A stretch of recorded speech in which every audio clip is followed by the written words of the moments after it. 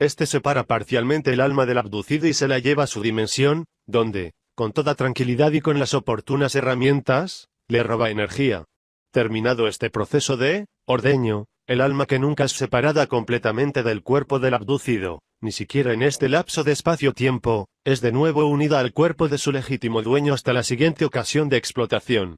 En el abducido, el original y no la copia, es reintroducido el lux, que actúa en los contactos entre espíritu y mente del abducido, produce fuertes interferencias directamente sobre la mente del sujeto parasitado, alterando su comportamiento, carácter, decisiones y así sucesivamente. El original está, así, listo para ser reintroducido en la sociedad, hasta la siguiente abducción, esperando que no recuerde nada y que no desarrolle una conciencia suficientemente elevada del problema. De otra forma, como veremos después, las operaciones de abducción no funcionarían. En hipnosis profunda el alma contaba lo que había sucedido